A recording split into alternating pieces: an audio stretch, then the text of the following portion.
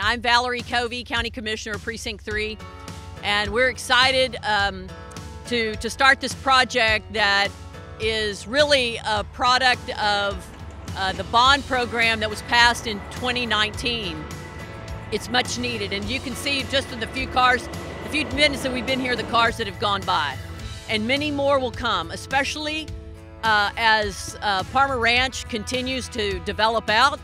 People will not want to go all the way down, down Reagan to Williams Drive. They will continue to use this road as a cut through. And I understand it. I would do the same thing. Uh, that's why we wanted to build this road, and I'm excited to get it started. We hope to have this three lanes, uh, with a, it includes a middle turn lane and some turning movements, um, finished by next spring. So let's uh, let's break ground, and I need several of you to come with me and turn some dirt.